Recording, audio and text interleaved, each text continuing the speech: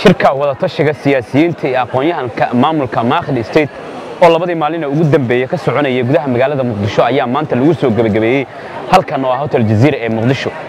Shirkan ayaa shalay si rasmi ah u daafurmay waxaana la soo gebagabeeyey maanta iyadoo labadii maalin oo shirkan socday diiradda lagu saaray islamarkaana looga hadlay sidii loo hirgelin lahaa islamarkaana dhidibada loogu taagi lahaa maamulka maakhir state oo fadhigiisu uu yahay gobollo ka tirsan maamulada puntland iyo s c iyadoo shirkan sidoo kale si weyn loogula fulguray islamarkaana diiradda loogu saaray sidii reer maakhir ay aayahooda uga tashan lahaayeen shirka maanta waxaa ka soo qayb galay mas'uuliyiin horey xilal kala duwan uga soo qabtay dowladda federaalk soomaaliya kuwa hadda xilal ka haya agaasimayaal iyo marti sharaf kale oo shirweynahan aad loogu casuumay qaar ka mid a martidii ka soo qayb gashay shirweynahan oo shabeel la hadlay ayaa sheegay in shirkan uga baxay arrimo muhiima islamarkaana rajadoodu ay tahay in marun uu geelisto damacoodu ah in maamul ay yeeshaan reer maakhir shirkani wuxuu labada cisho ku saabsanaa aayo ka tashi inay dadka reer maakhir ay ka tashtaan aayahooda kana wada hadlaan wixii dan u ah shirkan labada cisho uu socday shalay oo furitaanka ahayd ilaa maanta waxaa laga wada hadlayey waxa dan u ah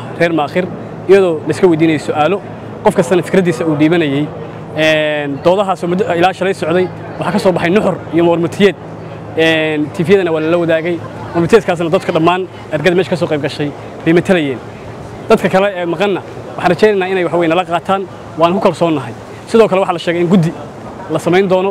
Guddidaana waxaan rajayn doonaa insha allah inay ka qayb qaataan siday kaalin muhiima uga qaadan lahaayeen aaya ka talinta deegaankooda.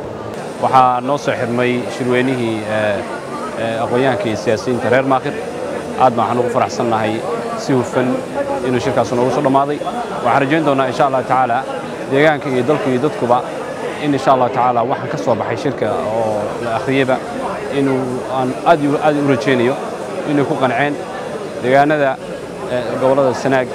Waxaan rajaynayaa waxa loo soo saaray inay yihiin wax dadkooda lagu qareemi karo nimanka siyaasiyiinta muqdisho jooga iyo kuwa kaleba. Toos deeqaha iyo waxyaabaha ay deegaanka u baahan yahay u gaari karaan. Waxaan leenahay shirkaasi waa shir aad loogu faraxsan yahay deegaanka. Akhir waa deegaan waa dad deegaanka ka soo jeeda waa dad ay ku dhacday intii dowladdii burburkii kadib maamul la'aan iyo dispute area galay. Waxaa ku dhacay inay ku dhex dhaceen laba maamul oo ah somalilan iyo puntland. Labadaa maamul oo isku haysta dadkaas taasina waxay sababtay in dadka deegaankaa deganay ay dibudhac weyn dareemaan dibudhac weyn ku dhaco xuquuqdoodii la duursiiyo xabadda kiliinka aan lagu geyn karin deegaankaas maadaama lagu muransan yahay waana sababta sababtay inay dadkani hadda aayahooda ka tashadaan senatar zaynab waxay ka mid tahay senatarada aqalka sare ee baarlamaanka soomaaliya. Si gaar ah ayay noola hadashay waxayna faahfaahin naga siisay shirka guud ee labadii maalin ugu dambeeyey ka soconayay gudaha magaalada muqdisho. Shirkan horta waxaa qabsaday bulshada reer maakhir. Xamarna iyaga ku ballamay oo isaga yimi adduunka daafihiisa kala duwan dal iyo dibad maadaama aniga aan ahay senataradoodii ayaan uga qaybgalan ka ahaa. Marka shirkan wuxuu u socdaa dadka deggan mandaqadaas maakhir state gobolladaas sanaag iyo hayland iyo galbeedka bari inay ku samaystaan maamulkooda kaasoo ay rabaan inay kaga tashadaan aayahooda iyo dhulkooda mustaqbalkiisa gobollo badan oo ka tirsanaa siyaasad ahaan puntland oo sagaashan iyo siddeeddii la wada dhistay oo sool iyo ka mid yihiin gobolladaas oo dhan ayaa haddeer waxay samaysanayaan state gaar ah sida khaatuma u samaysatay ayay u samaysanaysaa maakhirna sababaha keenayna waxaa ka mid ah intii aan ka mid ahayn gobolladaas puntland waddanku wuxuu ka bixi waayey wax la yidhahdo dispute ama inay somalilan iyo puntland isku haystaan shacabku waxay rabaan inay ka baxaan isku haysashadaas. Statekaasna uu noqdo mid dadka lihi ay leeyihiin. Sababay nagu diidda ma jirto. Dowlad iyada aqoonsatay maamuladoo dhan. Sababay dad tashaday oo nabad iyo badhaadhe dhulkoodii raba inay gaarsiiyaan. Sababay ku diiddo annagu ma garanayo dadka halkaan isugu yimi ma aha dadkii maakhir dhan. Waa in yar in yar barsentage aad u yar weeye. Dadka reer maakhir dal iyo dibad waxay ku ballansan yihiin. Guddiga halkaan laga dirayo iyo guud ahaan dal iyo dibad isaga yimaadaan shirweyne ayaa wuxuu ka dhacayaa bisha soo socota gobolladii maakhir kaas ayaana aayaha si rasmi ah looga tashanaya maamulkan lagu istaajin doonaa insha allah. Gobolka sanaag waa gobol madax bannaan saldanadooda leh.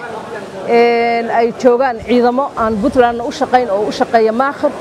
Way ku qabsan karaan shirkooda waana u madax bannaan yihiin cid dhulka ay degan tahay aan u madax bannaanayni ma jirto saan aaminsana xildhibaan hore cabdiraxmaan dhoore oo ka mid ahaa guddiga qabanqaabada shirweynahan oo gabagabadii shirka hadlay ayaa waxa uu akhriyey islamarkaana uu ka warbixiyey warmurtiyeedkii laga soo saaray shirweynihii labadii maalin ugu dambeeyey ka soconayey gudaha magaalada muqdisho gaar ahaan hotel jaziira shirweynahaas oo ahaa shirka ayakatashiga siyaasiyiinta ee aqoon-yahanka maamulka maakri state isagoona dul istaagay qodobadii iyo nuxurkii lagu heshiiyey muddadii uu socday shirkan. Magaalada muqdisho ee caasimadda dalka waxaa ku soo gabagaboobay shirweyne u dhexeeyey aqoon-yahanka iyo siyaasiyiinta reer maakhir kuwaasoo ka kala yimi dalka gudihiisa iyo dabadiisaba. Muddadii uu shirku muddadii uu shirku u dhexaysay saddexdii ilaa shantii ogost waxaa si qoto dheer looga dooday arrimaha siyaasadda dhaqan dhaqaale amni deegaan ee maakhir. Lafargur iyo aragti isweydaarsi wax ku ool ah kadib waxaa shirka ka soo baxay qodobadan hoos ku xusan. Kow shirku wuxuu ka tacsiideynayaa dhiiggii shacabka soomaaliyeed ee sida dulmiga ah khawaarijta ugu daadiyeen ay khawaarijta ugu daadiyeen xeebta leyday magaalada muqdisho wuxuuna intii intii ku dhaawacantayna eebbe uga baryaynaa inuu boogadhayo intii dhammatayna alla u naxariisto. Shirku wuxuu taageerayaa ilaalinta midnimada dalka iyo wadajirka ummadda soomaaliyeed wuxuuna ka digayaa wax kasta oo keenaya kala qaybinta iyo kala geynta bulshada soomaaliyeed ee walaalaha ah shirku wuxuu bogaadinayaa horumarka kala duwan ay ku tallaabsatay dowladda federaalka ah. Shirku wuxuu ugu baaqayaa bulshaweynta reer maakhir inay muujiyaan midnimo iyo wadajir meel uga soo wada jeestaan difaaca khayraadka deegaanadooda. Shirku wuxuu ku baaqayaa in si buuxda loo loo istaago sidii khawaarijta arxanlaawayaasha looga xoreyn lahaa deegaanada buuraleyda calmadow iyo in laga hortago inay ku xududaystaan deegaanada buurahaas. Shirku wuxuu ku baaqayaa in la ilaaliyo xasiloonida iyo nabad ku wada noolaanshaha. Magaalada ceerigaab ee gobolka samaane wuxuuna sidoo kale ka digayaa xasilooni darro uu maamulka soomaaliyadiidka ay hargeysa ka dhisani ka wado deegaamadaas shirku wuxuu bogaadinayaa una mahad celinayaa guddigii qabaqabada shirka oo wax ku ool shirka oo si wax ku ol ah u maamulay habsami socodkii shirka. Wabilaahi towfiiq soomana shabelle t v muqdisho. Internet balas waa adeeg ay macaamiishu ka heli karaan internet fiber ah oo xawaarihiisu yahay labaatan megabytes per second. Ayna la socdaan rasiifar ay ku jiraan in ka badan afar kun oo kanaal iyo boqolaal daqiiqado oo ah ku hadal bilaash ah